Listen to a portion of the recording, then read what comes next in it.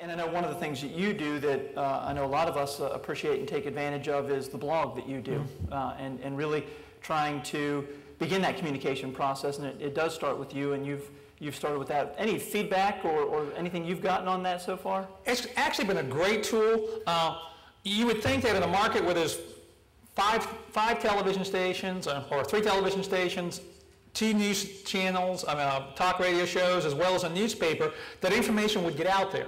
But it often gets out in a really fragmented way. So the blog sometimes is a way for me to put out information in long form so that folks can understand maybe the issues behind that short headline or that short 30 second piece. Um, and that's been a critical tool for us. We've moved into social media with our Facebook page, Twitter. Uh, we use a, alert, we use a lot of uh, technology now to keep in touch with parents uh, in terms of when school's closing, as well as uh, what's going on in their schools. So we've become much more adept at communicating with parents. Next year, we're going to be, you'll be able to probably, we're working with the state to be able to check your child's grades online. Uh, right now, you get a progress report and a report card. And we're pretty sure the state's going to allow us to roll out a parent module next year to, so you can keep up with your child's uh, grades as they're being posted online and see how they're doing on a, on a real-time uh, basis as opposed to waiting for a four-week or a nine-week progress report.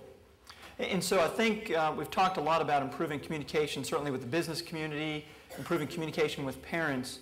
Uh, you know, the other uh, kind of key customer, if you will, that you have are the students. Mm -hmm. um, and so communication with students, you mentioned social media, uh, it's pretty much their life. I mean, so how, how have you seen communication with students changing and, and where is that headed? Well, and that's part of the reason why I like to get into schools because you can have a conversation with, with the kids in the building, find out about what they think about their lunch program. I mean, I was at uh, one of our elementary schools and they were just coming back from lunch and I said, well, how was lunch today? And the look on their face was, tell me all I needed to know about lunch that day. Uh, and I, I can't get that kind of feedback sitting at my desk. Uh, we're going to start at the uh, probably next month, bringing in our uh, student leaders at their schools and sort of get some end of year feedback on things that we've done well from the student perspective. Um, but when you think of students, you think about how they communicate. I've got a son who's a sophomore in college. I remember three years ago walking into his room, checking to see what he was doing for homework that night. Well, this is how he was wired.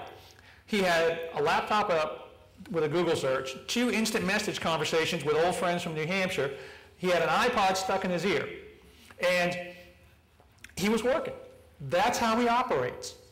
And I mean, here's a kid who was successful in school, honor graduate, uh, top 10% in his class, but that's how he's wired. Now you think about when kids walk into our schools, they slow down to come to school manually because they walk into a lot of places where it's them, 30 desks, and a total lack of technology in that, in, in that classroom for them.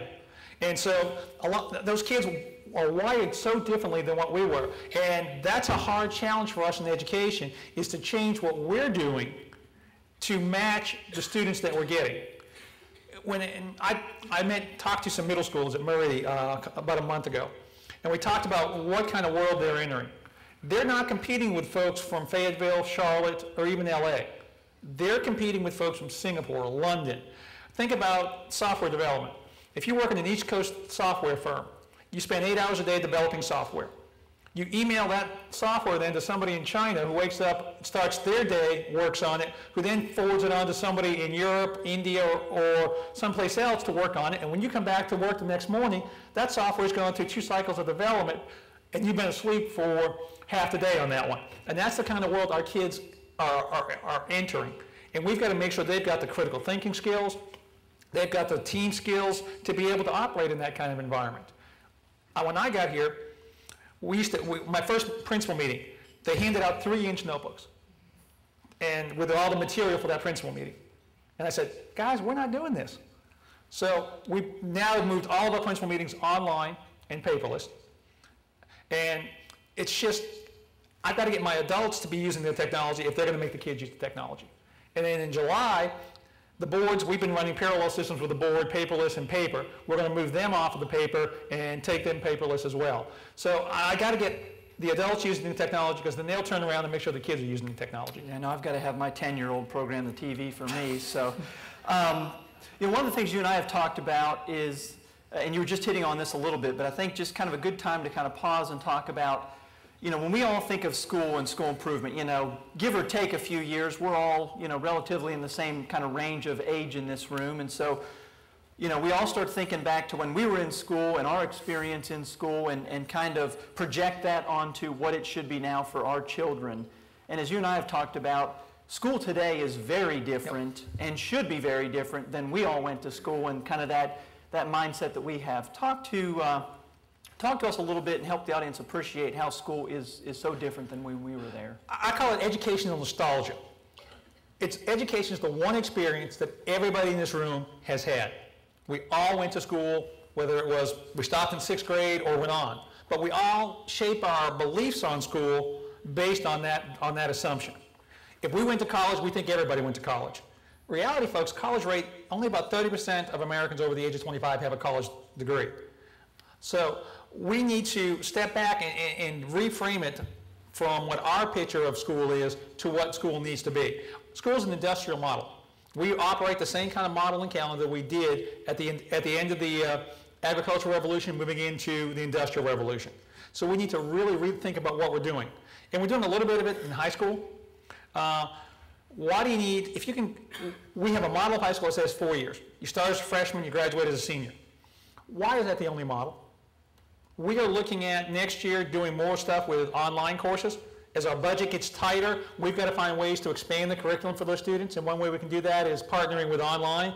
North Carolina has a great virtual public high school, and I can put kids into Mandarin Chinese and other languages that I can't get here because the numbers don't, don't won't allow me to do that or the costs won't allow me to do that, but I can open up the access to that. We're pushing some high school courses down into middle school so middle schoolers can now walk out with some high school credit. Pushing college courses into high school so kids can walk out with college credit. My son is in his second year at college, is classified as a junior because he walked out of high school with 30 college credit hours through university, through partnerships with uh, community college and, and others online. Those are the kinds of experiences that we need to be doing for our kids here in Wilmington. When you think about it, if a kid can graduate in three years, why stop them? If that's the track he wants to accelerate on, let them. If they need a fifth year, that's fine too. We can't, it's the idea of the, the old cookie cutter approach that everybody has to fit into that same model is long gone. If you go to elementary schools, I love elementary. Elementary are some of the most creative teachers that we've got because they've got the same 30 students all day long. And you watch them transition students from activity to activity to activity, and they couldn't do it if they had to have them sit there in desk all day long. And so they do a phenomenal job with that. They do a lot of grouping, they do a lot of teaming. And then the really good ones can take a class of 20 kids. And what they're hitting that top student with is different than what they're hitting that bottom student with because they know what the, what the range of abilities in, in those classrooms are. They do a lot of work with in-class assessment, with diagnostics uh, and differentiation, and it's just phenomenal to watch a top, uh, uh, one of those teachers just teach a class. You know, and one of the things you mentioned, actually, uh, you mentioned the workforce readiness survey that the, the Chamber had done a few months ago. And one of the, the main things that came out of that is, you know, what businesses need students to learn more of is working in teams. And, and you know, how they're going to work in the business world in, in teams and being able to interact with others. And, and as you mentioned, that model is still, you know, kind of one teacher, one student for the most part. And I know we're transitioning some of that in the school system as well. Senior project is probably one of the best things we do as a county, and it's one thing that New Hanover is one of the few counties that does this in terms of getting those students into some kind of experiential learning. Uh, because as part of that senior project, you have to go out, find a mentor to work with, do the research, and then do a presentation in front of a group as part before you, before we'll let you uh, graduate. And those kinds of real world experiences are something that we've got to do a better job with. And that's when we talk about where businesses can help us. That's one area where I'd love to see us partner more with businesses. Where in the summertime, can, are there experiences that we can put a kid into a summer internship program where they spend two weeks at with uh, if you're interested in engineering, work with Progress Energy. We had a partnership with Duke Energy where they would ran a two-week summer engineering program. And those kids would go to Duke Energy, and Duke Energy would rotate them through their different plants, uh, once nuclear plant, coal plant, and a uh, gas fired plant, to show them all the different things that's there as it relates to the engineering field. The hospital would then would also do the same thing with a number of our students, and that was probably the most popular one was our hospital internships, where they would rot- rotate through different departments in the hospital, learn about the, the lab part, learn about the OR and those kinds of things, in, a, in an extended summer learning experience where that's just what they're focused on. Uh, and, and those are kind of partnerships that are, that are invaluable to our kids. GE working with our uh, kids at uh, Freeman in the engineering program, bringing their skills into, the, in, into Freeman. When you look at Freeman, they've had a huge jump in their assessment scores over the last several years, and I think a lot of that is that math focus and that partnership piece working with the schools.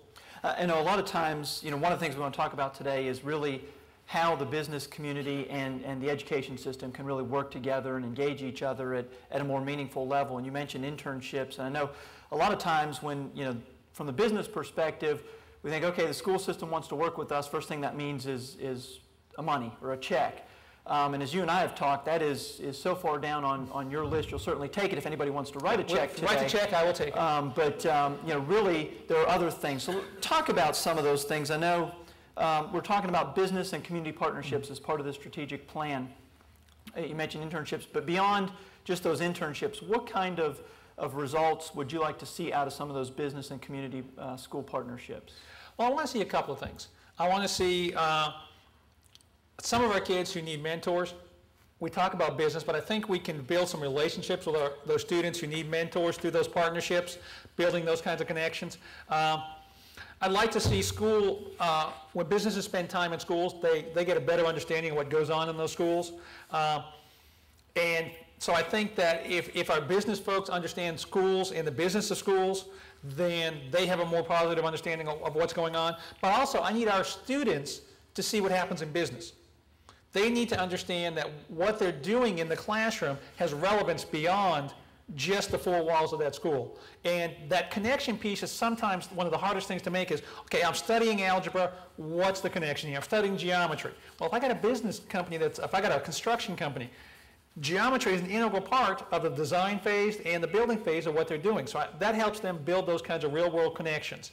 And so I think if I can build those connections, it'll help my schools with the kids, it'll help with kids in terms of seeing the relevance there, and eventually it'll lead to the support piece that happens in schools. Okay. Past, present, future digital. You live the moment. We'll make it last. Call us at 910 399 1820 or go online at ppfdigital.com.